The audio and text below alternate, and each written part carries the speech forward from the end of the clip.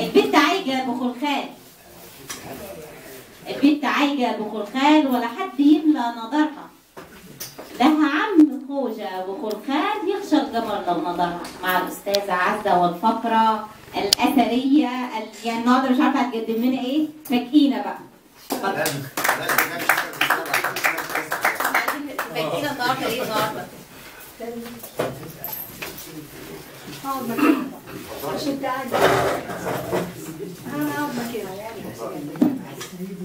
السلام عليكم دي شخصية آه، رجولية بلاش عشان في ناس بتستقوى عليها والله النهارده رجاله أيوه كده انت معانا ولا علينا؟ السلام السلام عليكم.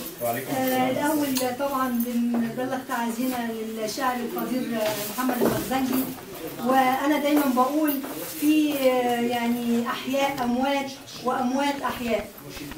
فربنا يسهل. هنفصل بقى كده إيه؟ وركزوا معايا بقى كده. نفصل فاصله كده شوية عشان إحنا عيطنا المرة اللي فاتت.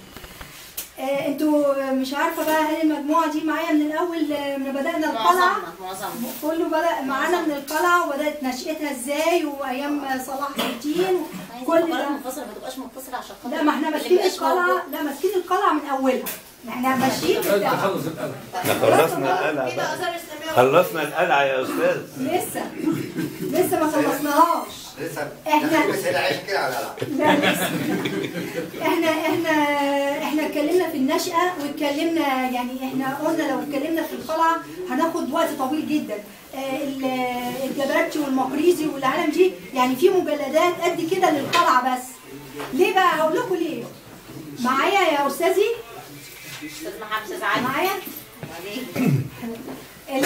القلعة من بدايتها من 1176 خليكم معايا ركزوا في التاريخ ده.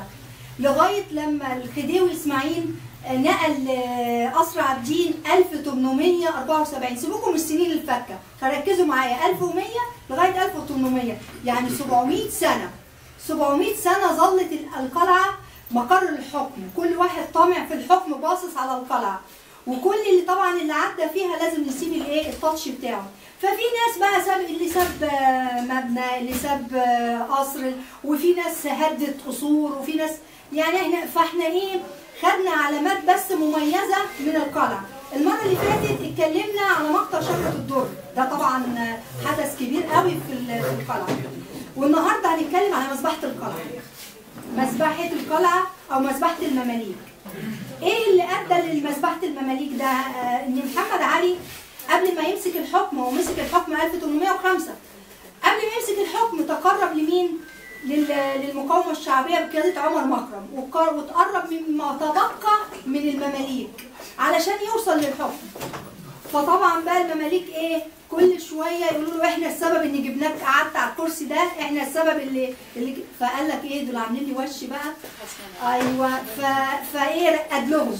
هو مسك 1805 1811 اللي هي المذبحة. أنتوا معايا؟ آه عمل إيه بقى؟ هو قال لك إيه؟ آه انتهز فرصه إن ابنه تصن باشا آه طالع على رأس حملة لل- للحجاز عشان في إيه؟ للقضاء على المعارضه بتاعه الوهابيين. قال لك دي فرصة أدعي فيها بقى كبارات البلد والإيه؟ وعشان ال- المماليك ما يحسوش إن في حاجة هم جايين كلهم. لدرجة إن المقريزي قال في ال- الكتاب بتاعه إن هو اللي هم اللي بيخيطوا الملابس يعني الترزيه قعدوا شهر ما يناموش. ما هم عمالين يعملوا آه، لكل ال- المماليك بقى رايحين يقابلوا الوالي.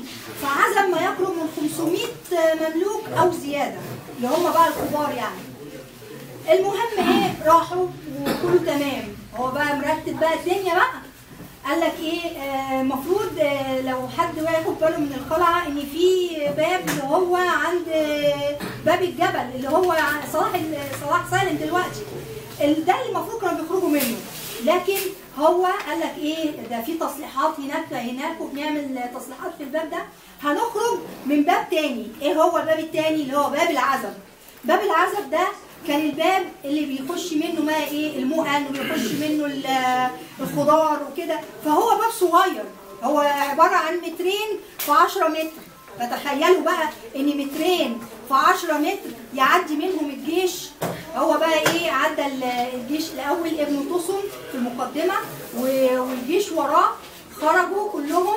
وأول ما خرجوا راح الباب من الخارج مقفول.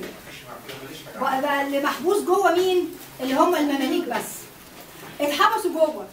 فجم يرجعوا ما عرفوش ما فيش رجوع لأنهم كانوا واقفين لهم من الناحية الثانية الجنود. وطلعوا على السور وبدأوا يمطروهم بالإيه؟ بال- بالرصاص عليهم من كل جهة. لدرجة إنه بيقولوا إن الجثث في الممر الضيق ده اللي هو باب العزب وصلت لمترين فوق بعضها. وال- والدماء سالت لدرجة إن هم بعد كده يعني قوة الدماء اللي نزلت قالوا إن هو اتعمل منها اللي هو الضرب الأحمر. الدماء سالت لدرجة إن هي إيه؟ لأن طبعا القلعة عالية. فلما نزلت ال- الدماء عملت بركة كبيرة. آه، وفي يعني يعني كانت حاجة بشعة إن هو يعمل كده آه، يعني محمد علي وإن يبهدلهم كده لدرجة إن بيقول لك ال- دوي الرصاص عمل صمم للناس من كتر ما كان قوته. والمهم إن الجنود بتاعته ما استكفوش بده كله راحوا برضو نازلين ما تبقى من ال- المماليك في كل الأزقة والحواري والطرق بتاعت المحروسة. قتلوا فيهم. قتلوا ما يقرب من ألف آه، مملوك. وطبعا اخذوا نسائهم سبايا واخذوا أموالهم واخذوا أولادهم. ويعني كانت بهدلة. قعدوا ثلاث أيام يقتلوا فيهم. قتلوا ما يقرب من ألف واحد كمان. ما كفاهمش ال 500 اللي اتقتلوا. لا قتلوا كمان. كانوا عايزين يتخلصوا منهم. يعني إيه؟ زي عملوا زي هتلر لما أباد ال- اليهود. آه المهم برضو لغاية لما نزل محمد علي بنفسه يلم اللي هم الجنود بتوعه. يعني كفاية كده. بقالكم ثلاث أيام بتقتلوا فيهم. واللي قدر يهرب يهرب بقى بس كانوا يعني قليلين قوي اللي قدروا يهربوا من من المذبحة دي اللي اتعملت لمدة ثلاث أيام. وكده بقى إحنا إيه عملنا بس اللي هو إيه آه يعني مذبحة المماليك. آه هنقول بقى إن شاء الله المرة الجاية قصر اللي هو جامع محمد علي اللي عملوا تكفيرا للذنوب اللي عملها.